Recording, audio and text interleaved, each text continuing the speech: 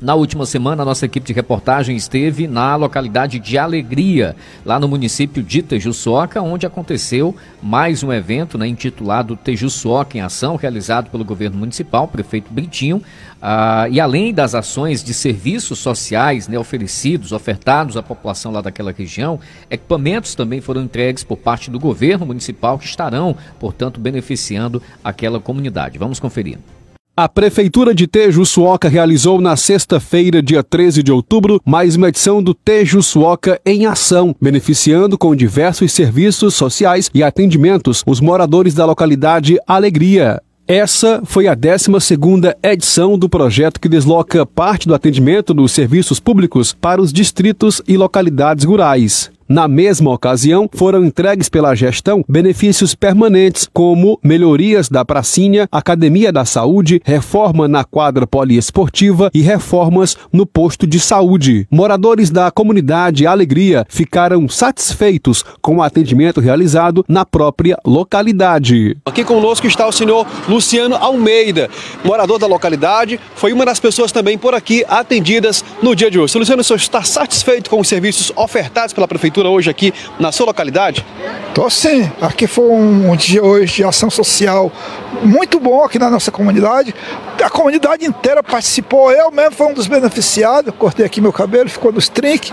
A minha esposa participou, né? Ela foi, se consultou com o médico que esteve aqui o dia todo hoje. E assim a comunidade, toda a nossa comunidade foi beneficiada por esse dia de ação de graça. Graças a Deus, primeiro a Deus, segundo o nosso prefeito que nós temos aqui no município hoje, que está trabalhando diuturnamente para que a comunidade, para que o município venha a ser visto com a melhora grande que nós temos hoje aqui no município. Em outras oportunidades o senhor já havia testemunhado serviços como esses? Não, eu já eu já estou aqui, eu cheguei aqui, estou com 12 anos que moro aqui nessa localidade e nas outras administrações nunca vi nada parecido. Nunca não. Agora não, agora as coisas têm se desenrolar de uma forma maravilhosa para todas as comunidades, não só para a nossa aqui da Alegria, mas em todas as ocasiões, em todas as localidades a gente vê o trabalho que vem sendo feito pela Prefeitura Municipal de Tejaçuoca. Outra moradora com quem nós também conversamos é a senhora Rosa Maria Bezerra. Há pelo menos 20 anos ela mora aqui na localidade Alegria. Sempre faço a fisioterapia no Retiro e hoje veio para cá, né? Vem encostado de casa. E vai vir agora, né? Sempre é às quinta-feira a, a fisioterapeuta vai vir e eu não vou mais pro retiro. Eu vou ficar aqui sendo atendida, né? E também é, fui atendido por um médico, adorei ele porque ele era muito alegre. E também é, fui lá, na, fiz unha, né? Foi uma maravilha, adorei. A senhora está satisfeita? Sim, sim. Estou satisfeitíssima. Andresca Maria, ela também mora aqui na localidade de Alegria e faz parte da, dos grupos, do movimento de grupo de idosos da comunidade. Andresca, como você avalia a importância de momentos como este para a comunidade aqui de Alegria?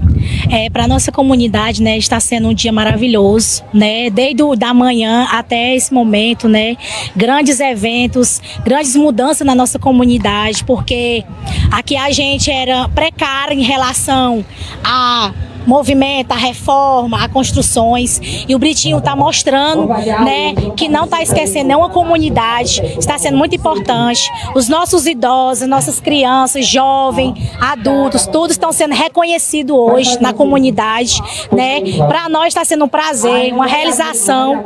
E a gente está com muita gratidão ao nosso prefeito, à administração também. Não posso esquecer da nossa secretária Rejane, que fez com que o grupo de idosos daqui não acabasse acabasse, continuasse.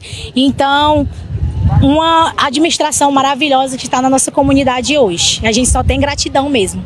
O prefeito Britinho conversou com nossa reportagem, destacando a iniciativa da gestão e se comprometendo em realizar momentos como este de atendimentos do Tejo Suoca em ação em outras localidades do município. Um projeto que começou com o objetivo exatamente de estar a prefeitura próxima da comunidade, a prefeitura dentro das comunidades, exercendo o seu serviço, exercendo o seu papel de estar próximo à população, ouvindo, procurando resolver, atendendo, gerando oportunidades iguais para todas as comunidades. Nós temos hoje a sede, um distrito grande, é, comunidades que, que são vizinhas da sede, que tem essa oportunidade de estar na sede sempre. Localidade não, mas distante tem essa dificuldade.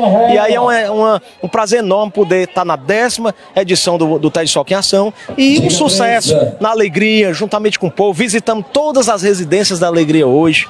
Houve distribuição de cesta básica pelo CRAS, pela assistência social, todos os atendimentos da saúde, educação, esporte e anúncios de melhorias. Academia ao ar livre, pracinha, reforma da quadra, anúncio de compromisso de cobertura da quadra do nosso deputado Danilo Forte. E é isso, a vida pública, a gente tem que fazer ela com muita simplicidade, humildade e procurando sempre entregar benefícios à nossa população.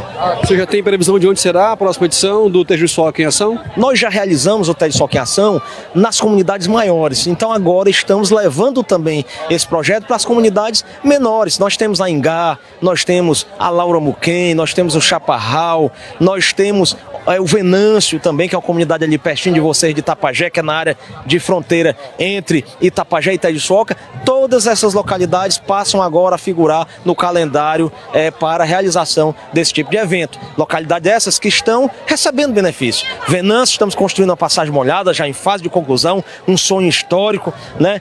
É, Ingá, vamos reformar o Porto de Saúde, também vamos construir passagem molhada. Chaparral também tem as suas demandas. As inaugurações não param. Sexta-feira, dia 20, estaremos entregando um grande sonho à comunidade de São Bento, que é exatamente a entrega da escola totalmente reformada e de uma quadra coberta, de um ginásio que vai fazer muita diferença lá para aquela comunidade. As ações não param, isso vem desde que assumimos a prefeitura e com certeza o povo de Itaçoca sente isso, vê, vibra, confia e está muito feliz com as nossas ações. Agora já são 12 horas 38 minutos, 12 e 38, né? Esse evento aconteceu na última sexta-feira lá na localidade de Alegria, né? zona rural lá do município de Tejuçó, que é importante esse tipo de ação, né? Eu costumo dizer que o político, em especial o gestor do município, é importante que ele visite as comunidades. Agora, mais importante do que visitar exatamente as comunidades é levar benefícios para essas respectivas comunidades mais do que visitar e simplesmente conversar, tomar um café, tomar um chá, bater um papo né, com as famílias da zona rural, mais importante do que isso é você ir e levar benefícios.